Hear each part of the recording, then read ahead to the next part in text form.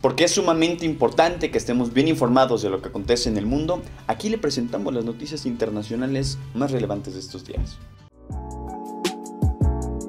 Chiconawi, restaurante bar. Una poderosa tormenta invernal con fuertes nevadas y vientos azotó la costa de este de Estados Unidos el sábado, provocando caos en el transporte y cortes de luz en la región, donde residen unos 70 millones de personas. Con múltiples advertencias de ventiscas gigantes, ciudades como Nueva York y Boston fueron las más afectadas por la tormenta, que el Servicio Meteorológico Nacional confirmó el sábado que se habría intensificado hasta convertirse en un ciclón bomba que principalmente se caracteriza por el poder explosivo de las rápidas caídas de la presión atmosférica.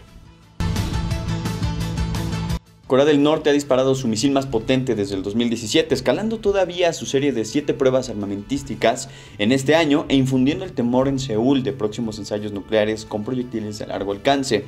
Pyongyang, que nunca había realizado tantos ensayos en un solo mes, insinuó la semana anterior un abandono de la moratoria autoimpuesta durante casi cinco años en las pruebas de misiles intercontinentales o nucleares. La recepción que la semana pasada el gobierno de Noruega brindó a los talibanes generó un torrente de críticas. Muchos activistas exiliados forzosamente de Afganistán contrastaron sus miserias con la impunidad con la que Anas Hakaki, quien es ministro del Interior de la nueva administración afgana y también presunto artífice de múltiples matanzas en su país, se paseó por el país en, en el lugar de Oslo.